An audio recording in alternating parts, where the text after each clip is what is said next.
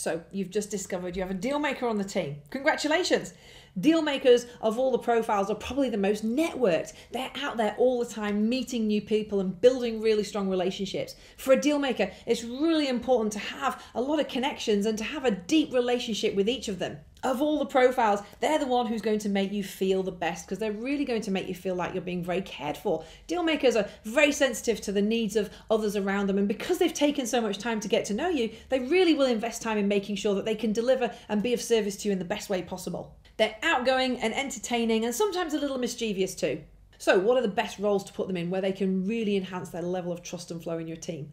Well, they're natural networkers. So, whenever you can put them in a position where they can be out building those relationships, bringing the right parties to the table, that's a great role for them to be involved in. They're also very natural peacekeepers. So, anything that involves making sure there's a high level of collaboration uh, and bringing people to the table also in a, in a qualification sense for sales. So, what are the kinds of roles to avoid putting them in because it's going to destroy the trust and flow?